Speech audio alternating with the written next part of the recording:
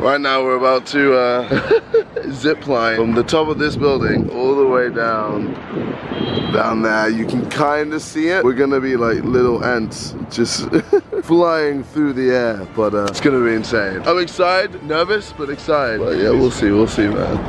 Okay. Oh, okay, there we go. You see, I was so calm before. okay, oh, shit. Yo, no! Can I like not do this? oh, sick. All right. Shit. No way. Me count in No, no, no.